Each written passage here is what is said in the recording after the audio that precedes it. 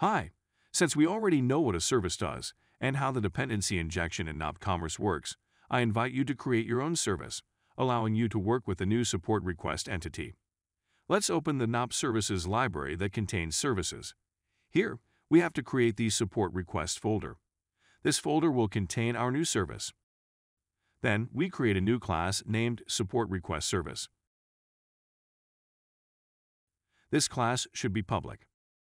In this service, we will manipulate support requests using the appropriate repository.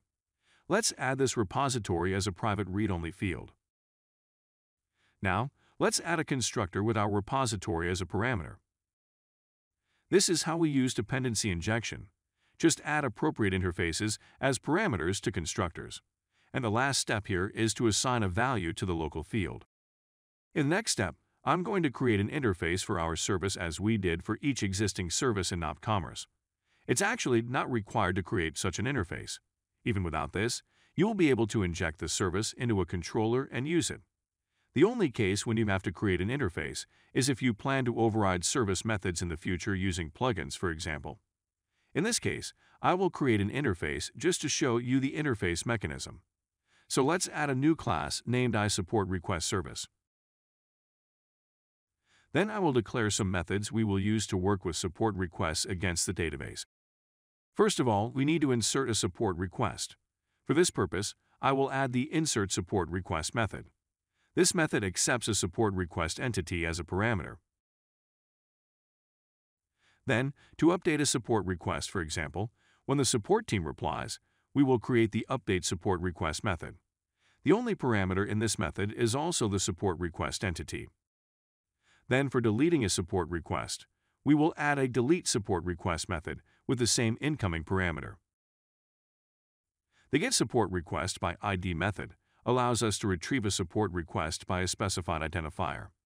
It returns a support request entity. The getSupportRequest by customer ID method allows us to find all support requests for a specified customer. This method returns a list of customer support requests. And the Get All Support Requests method allows us to get all the support requests. For example, when we need to display them all and filter in the admin area. This method accepts the following parameters to filter support requests. Customer ID, to search by a specified customer. Created from UTC, and created to UTC dates to search between them. The same is for updated dates. Search text, to search in the support request message. Store ID, to search by a store. And page index, and page size parameters, allowing us to retrieve a certain range of support requests. The Get All Support Requests method returns a paged list of support requests. The paged list allows us to display records split by pages. This is what we will use when displaying support requests in the admin area. So we have finished with the interface. Let's move on to the service. We have to make our service inherit from the created interface and implement all its methods and not forget to mark them as async. Then, we have to provide all methods with the appropriate implementation. The delete support request method uses the default repository delete method. Then comes the get all support request method. Here we get all support requests using the get all paged method of the repository.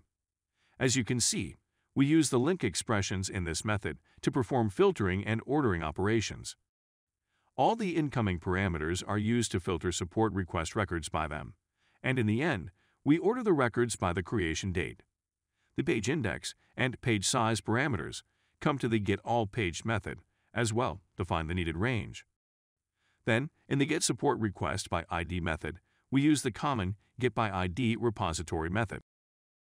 To get support requests by customer ID, we use the Get All method of the repository where we select the items with the specified customer ID only. The implementation of the Insert Support Request method is quite simple. We use the insert method of the repository. In the Update Support Request method, we also use the default repository method, update. That's all. Our service is ready to use. Next, we should register this service in the NOP Startup class. This way, we will be able to inject the service into a controller and use it there. To do this, follow these steps. Open the NOP Startup class from NOP Web Framework, Infrastructure.